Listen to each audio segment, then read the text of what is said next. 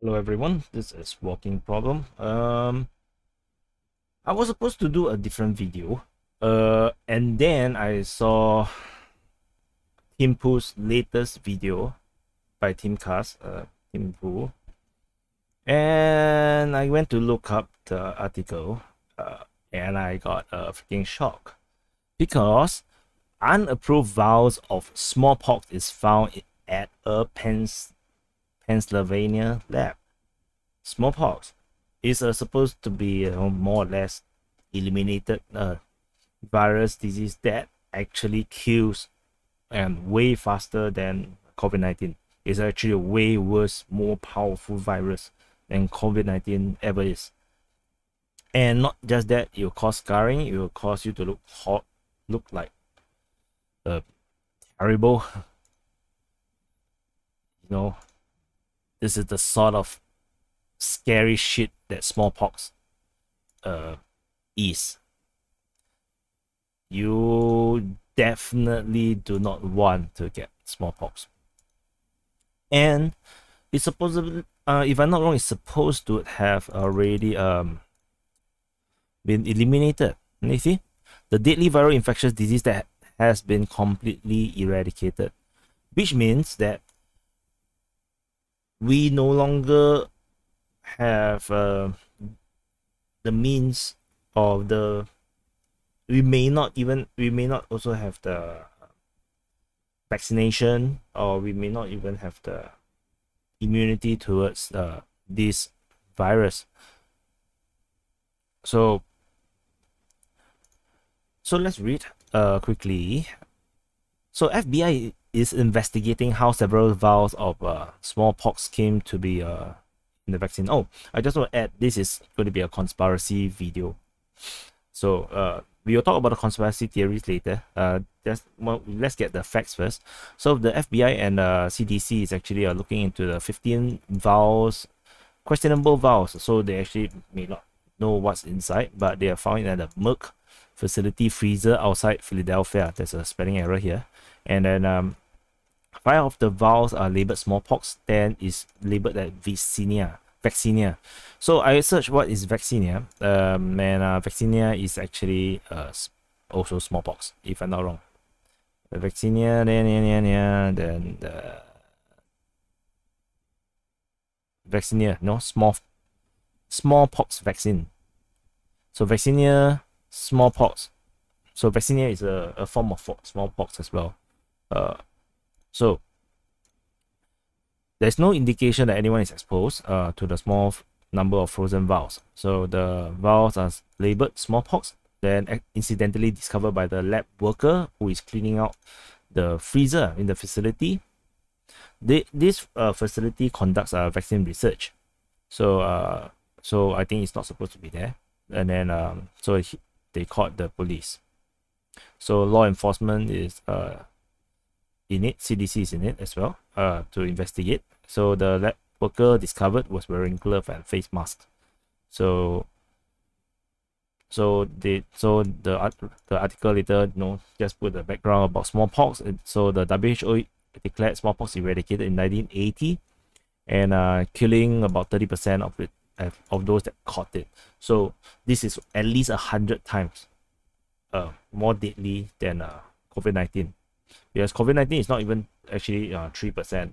If you get the treatment, uh, actually is going to be like a 0.3%, like what it is uh, in Singapore. So, um, so it used to uh, infect 50 million people globally, which means that 30% die means every year there will be like mass, mass, mass. I don't know, 1.5 million people around there. No, no, 30%. Ah, uh, forget it. I don't want to count. So yeah, a lot of people die yearly from smallpox. And uh, eventually, there's a massive global vaccination campaign which ends the disease.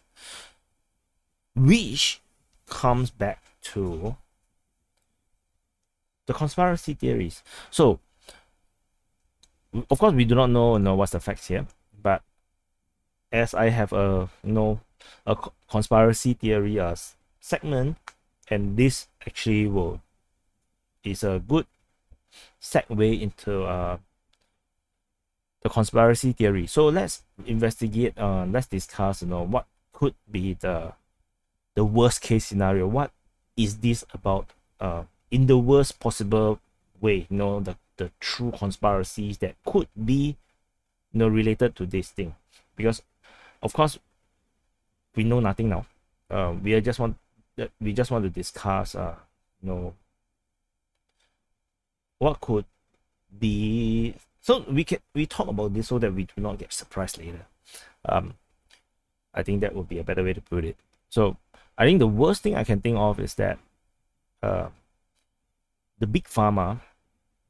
So big pharma is earning so much money from uh, COVID nineteen. Uh, according I heard my mom say uh she heard on the news that they are earning like every minute was like forty five thousand US dollars.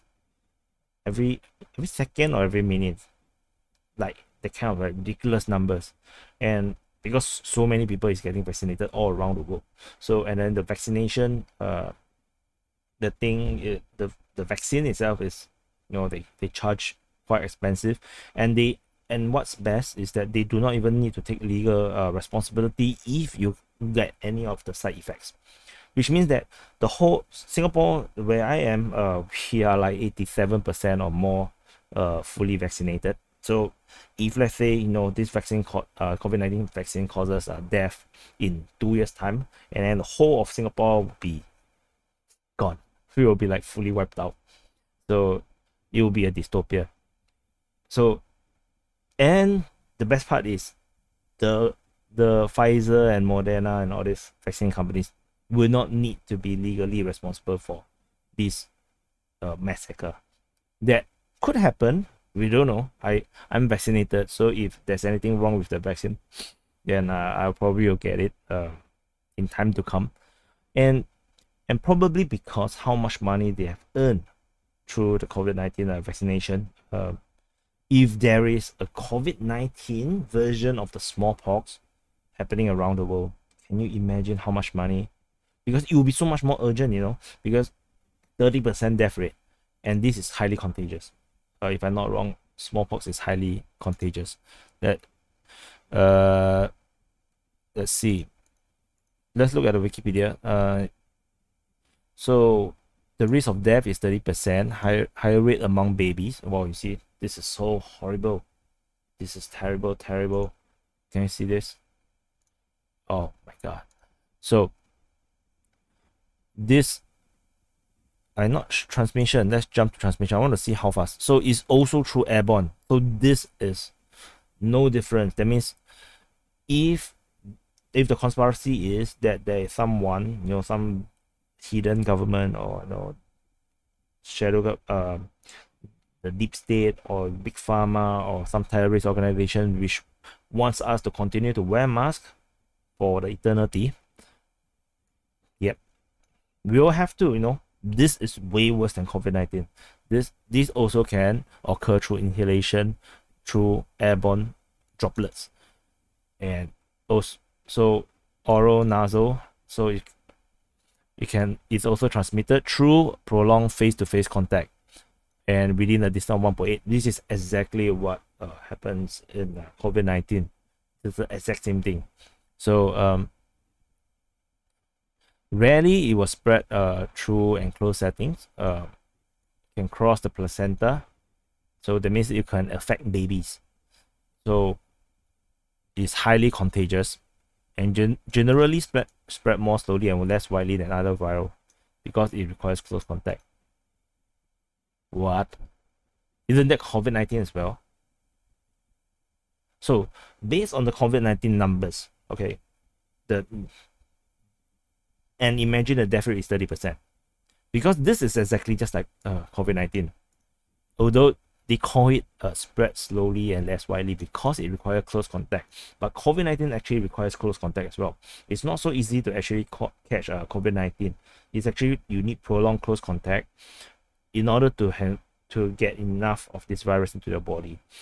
And the then and the danger about smallpox now is that we are already you know three generations away um, from the fully vaccinated uh, generation that actually eliminated smallpox. Because by the time So they, they declared smallpox uh, eradicated in the 1980. But for me, I'm born in 1983, which means that only my mom's generation or you know people who are above who are older than me that means they are now 40 years old and above are vaccinated for smallpox. And i'm not even sure if they are all of them are vaccinated vaccinated for smallpox. I suppose they are. So we are talking about you know half the world's population at least is now currently unvaccinated at least half probably more. So so there is a lot of money to be made and there there is no certain uh, financial incentive for those that wants to wants people to continue to wear masks maybe there's political incentive. And then there will be the people that the big pharma that actually want to produce more vaccines because covid-19 is going to be eradicated. Covid-19 i'm sure by end of next year it will be a non-issue because the the treatments for covid-19 is have been so effective. You just look at look at Tim Pool, you look at Joe Rogan, all these people are in Donald Trump as well, who was one of the first to take the the what's that called Regeneron. So COVID nineteen is going to be a non-issue next year. Everything is going to go back to normal, and the big pharma is now addicted. It's like drug. So they already addicted to this, you know, abnormal economics of uh vi- uh, virus infection pandemic kind of world where they earn insane and not obscene amount of money from it. It's good business. It's very very good business, and COVID nineteen is going to be it's going to be like flu. You know, pe- people are just is no longer going to take it seriously. Uh, they are trying to push it to the to the children. Uh, Singapore just announced uh, they're going to uh, get volunteers to you know to do clinical trial. Uh, I think it's a really bad idea. I don't think children needs to be vaccinated, uh, given how unlikely that they will be uh, affected by COVID nineteen. So the the the entire trend and momentum for COVID nineteen vaccine is dying. That's why if you want to think in a negative way about big pharma, this will be good money. Seriously. And remember, the people who are above 40 is likely to be all vaccinated for smallpox. That means it's the young people. It will be the opposite of COVID 19. You know, COVID 19 affect, uh, uh, affects uh, people who are above 40 and especially above 50 more. And then the young people are less likely to be affected. Smallpox is the opposite because above 40s are already all vaccinated. So it will be people like me, the young children, uh, people in the 20s, the teenagers, the babies, they'll be all needing vaccination. And that will represent another huge amount of money to be made. So, smallpox. Uh, so, if you have smallpox accidentally, you know, accidentally released within a lab, and then you know spread out just like what happened in Wuhan there. Um, but maybe this time around happened in the United States, then they could very well have a good uh, excuse uh, to to you know sell vaccines for smallpox again because I don't think I have taken any smallpox uh, vaccine for what I understood. Let's see. The what is the vaccine vaccine not sure. Treatment, pre prevention, uh, inoculation, dry. I don't think, I think, I don't think I, I know what's the vaccination for smallpox. I might be vaccinated, I might not be vaccinated for smallpox. So it's, uh, I'm not too sure. Uh, what is the vaccine then for the smallpox? See, oh my god, it's so terrible. So the other possibility that I I can imagine in terms of a conspiracy is that this could be a biological warfare by a foreign power against the United, United States. It could be Russia, uh, it could be China. Although for most cases to nowadays, I think it's usually China. I, I personally have very little, you know, uh, urge to think that it's uh, Russia. Russia only requires intel. They don't need they don't need to you know go on a hybrid warfare against the United States. They have no no need to actually you know punitively attack uh, United States. But China is different. China is actually in an active war uh, with the United States. It's an active war. It's just not connected yet.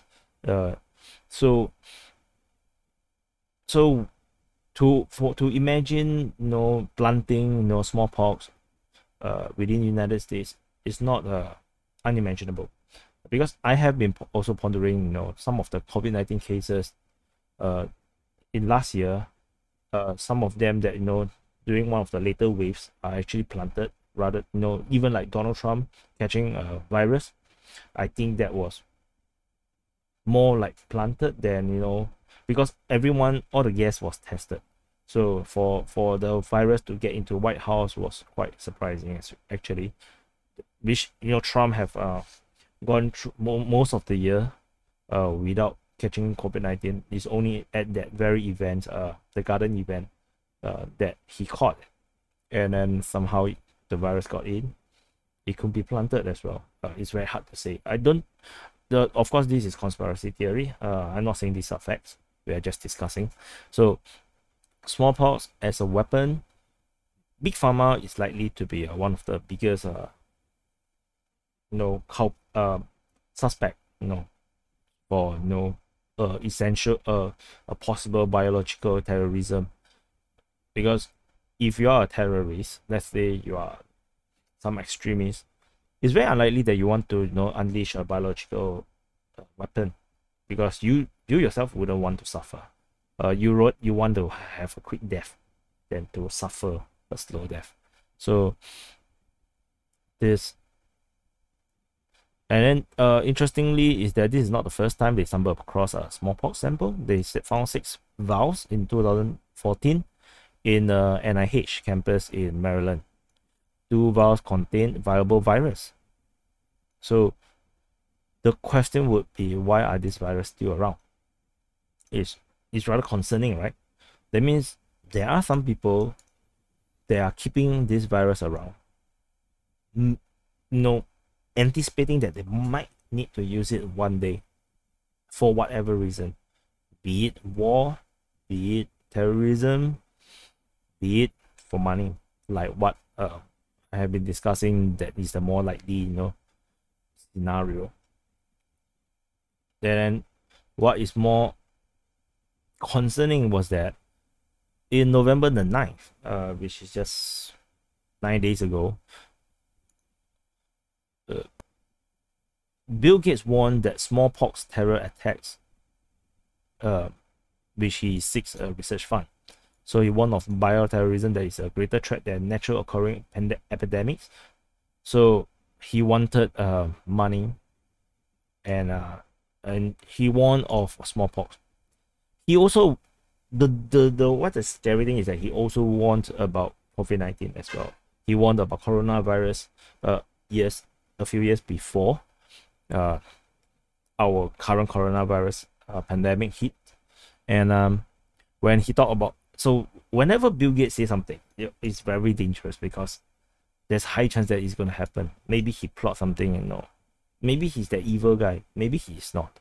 So but when he says something um, we need to take notice because he if anyone is in the know anyone to know any secrets he will be one of the most powerful and richest guy in the world.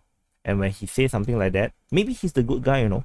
Maybe he's the one that is on he he found out the the conspiracy and plot for someone to use smallpox as a terror attack weapon, and then he know about it, and then he's trying to prevent it. He might be the good guy, you know. Mm, he might not be the evil guy, but he also could be the evil guy.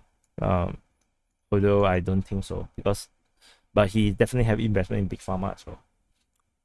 So, as I said, this conspiracy theory. None of this is.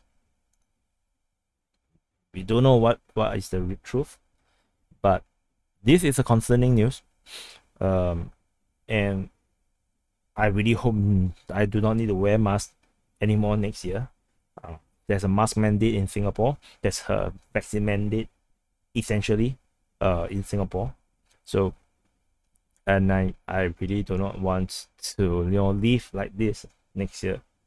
I want to go back to normal life. I want to play football. Um, but this is concerning. 30% death rate, and it affects uh, infants more. And people below 40 are mostly unvaccinated against smallpox. So you figure. Um, and um, if you have any thoughts, you know, do comment below. Um, I I almost always reply to everyone. If not, I would at least give a thumbs up. So uh, do comment what's your opinion, what you think, and if you, you know say something very intriguing, you know, that could become a new video that we can discuss about. Uh, what is your theory? Do you think about this smallpox uh, vials? Uh, let me know, and uh, I'll see you in the next video.